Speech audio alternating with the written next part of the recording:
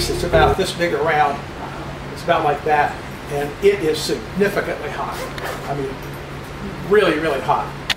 So I, I don't take it out and about. I fixed it. I, you can fix these. All of these have been fixed with a Krylon. Okay, of course that wipes out your alpha. You know, alpha, beta, gamma. Okay, the alpha won't hardly penetrate a piece of paper.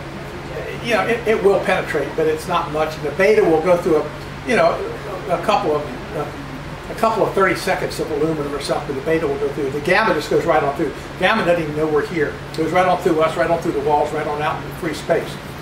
Um, but to keep it from washing off and getting on your hands, I, I spray chlor, Krylon on it to keep it so it, the dust doesn't come free. So anyway, um, okay, anybody have any questions about that?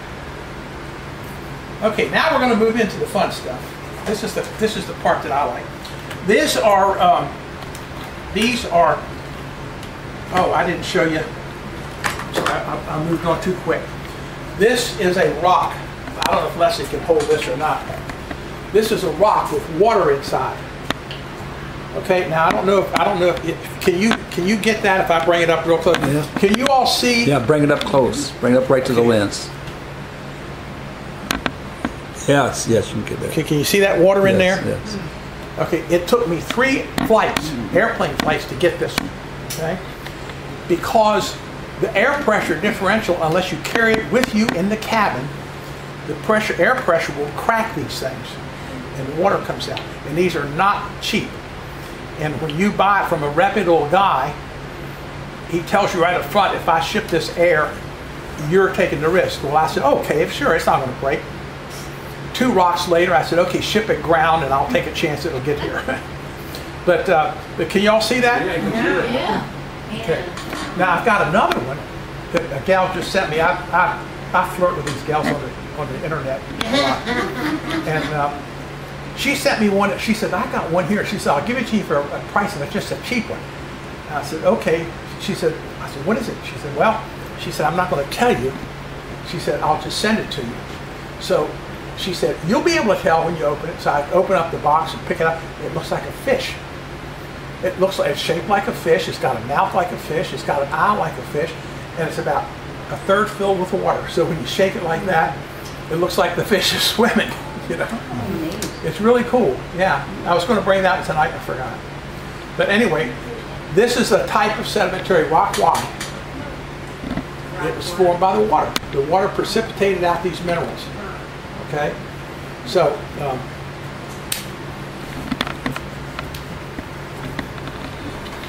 okay, now, back to where I was going with next I'm going to drop that thing and break it. Yeah.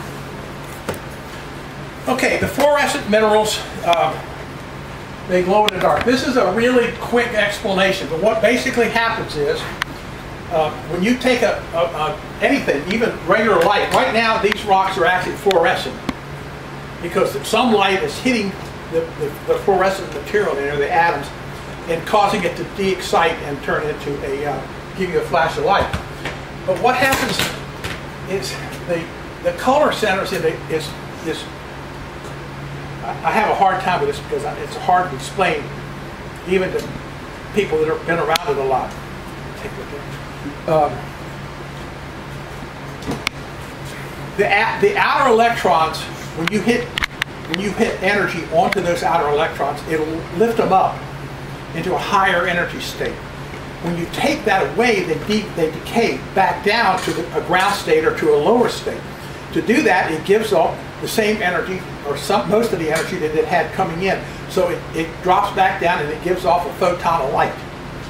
Now the color of that light is determined by how much energy was put into it and, and brought back down. Now, why do we use a fluorescent light? Why do we use a fluorescent light to excite these? It's got a lot more energy. The ultraviolet has much more energy than the infrared or the white light. Much more energy. So, and there's a difference between long wave and short wave. A lot of these uh, materials, even long wave, won't excite it. I mean, there'll be very, very weak fluorescence, if at all. Some of the stuff that they said, well, it doesn't fluoresce, I found it does. put them in a dark layer, put a, a, a microscope in it, under it, and then fluoresce them a little bit, and you'll see some. Even though they say it doesn't, it, it really does. So now we're going to kill these overhead lights. Will that work? Yeah. I had this little, uh, I had this little uh, black hood thing that we uh, that we had, um, know, here last time. Can you see. can you see it? Can y'all see what's happening? Yeah, Okay. Yep. Now this is shortwave. Yeah. Okay, this is a shortwave. You getting it? Good. Okay. See the color? Now let's look at another piece.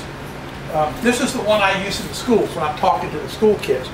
You can see the different colors on this, but look what happens when you get the light on. Okay, you don't even see the difference. See this greens up in here? In normal light, you don't even see that at all. So then we show the kids how well different, um, different, um, you know, different minerals have gotten in there over time and filled up these cavities. See the top? See all the greens and see?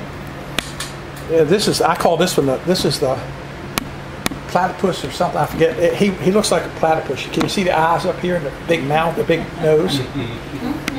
Can you? Are you getting any of it? Yeah. Gary? Put- yeah, Hold it right there. Yeah, do it and take the light away and then put it, bring it back and then bring the light in. Bring it in. Oh, great, great. Okay. great. Now let me give you a safety lesson. I've got a lot of these here, and I'm going to uh, ask you when you because I'm I'm not going to hold them all up. But when, when we get done, I want you to come up and, and play. You know, use the lights and uh, and get them. Oh, wow. Okay. This is one from up in uh, up in Franklin, New Jersey. There's a mine up there that has a, a great. See, can you see the greens up at the top? Yeah. Are you getting it, Gary? Yep, yeah. Okay.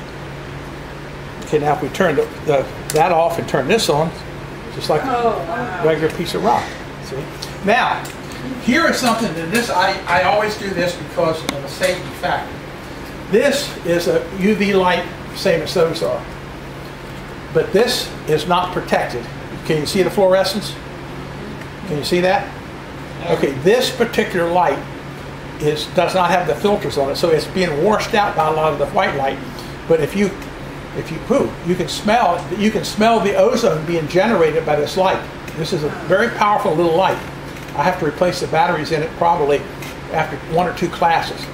But it, this will give you a sunburn. You have to be very careful. I got my th- thumb burnt one time I was talking. I can feel the heat. And I, I really don't want you playing with this if you don't know what you're doing up here, but if you are, you really want to feel the difference. You can run that thing over your thumb and you can feel the heat coming off of it. Uh, anyway, there's a lot of different, a lot of different kinds here. Okay, I don't think you guys can see. Here's another piece of the same stuff from Franklin. Can you see that one? Can you see the greens? Yeah. The reds? Okay, well, if you look really, really carefully in here, one place in here, there's a, there's a really unusual, one. I don't know where it's at. It may have even come off by now. See, there's some flakes in the, see the flakes where it's coming Yeah. off? Okay, so it might have come off, but there was a piece of real bright red almost, which is very rare. You don't see the red very often. But uh, anyway, you can come up here and look. Here's another one with the green bands. See that guy? Can you see him? See the So reds how do you find those kind of rocks? Do you I'm sorry? right out and shine it Yes. the ground? Or you know what kind of mineral it, it is. You know, there's, there's two ways to do it.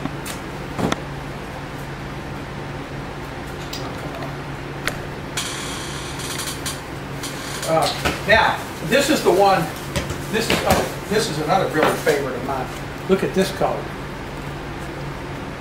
Can you see that? Can you see it? Gary, can see it? Yep. Okay, this is um, this is halolite. I can't pronounce it. I have to always look at it. But this is called halolite opal, and that's um, she won't let me have opal in the house. So this is not regular opal. I, I brought her a, a big opal home one time, and the furnace broke, the pump broke. Ah. So she made me get rid of it. She made me give it to a girlfriend of hers. That was a very, very high dollar gift. She wouldn't have, she won't let me have it in the house. We were out in Idaho, we were mining out there at the mine, looking for some Spencer, Spencer opal. found a bunch of it, had a beautiful piece like that. As soon as she found out it was in the house, she made me take it out and get off the property, go across the road and bury it until I could find somebody to give it to. But uh, any, anyway, yeah, I'm just going to leave these here. Uh, matter of fact, I'm just going to put this one away. You don't need to look at that, and you can play with some of these. Another thing is, and I don't have a piece that, that works, but uh, somewhere there are some of the radioactive. Can you see the glowing? Can you see that that little bit of orange? I don't think you'll be able to get it with a camera. Group. Can y'all see this middle one down to bottom? Okay, well, it's very faintly fluorescent. Okay, it's very, very faint. Um, you know, Les, but her and I are both, uh, we're both hazmat. I'm a level five and she's a level three. And we teach hazmat, we're both instructors. And we use Tide to, you know, that comes actually, it's a, there's a, a chemical in Tide. And it, it fluoresces. So we spread Tide around everything. We're teaching these people how to decontaminate. So we, we hand it to them and we say, okay, now, handle this very carefully. At the end of the class, we make every one of them come up and we search them with a light. They've got it all. they don't believe it. See if anybody's clothes show up fluorescent. What's that? I wonder if anybody's clothes show up fluorescent. Well, On the detergent. That was pretty good. I don't know, but if somebody has Tide on, you don't, No, I we have don't the use Tide. as you. Anybody? No, No? Anyway.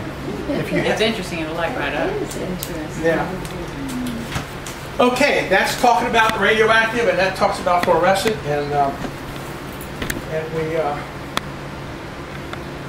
where did I do the clicker? Just see the times.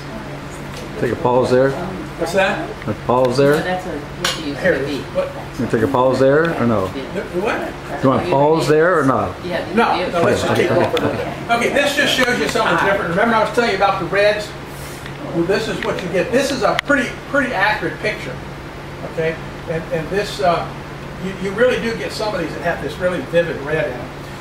Okay, now we're going to talk about just a little bit about rocks in Florida. And here's, uh, there's some uh, samples here. We'll turn the light back on since we're done with the fluorescent.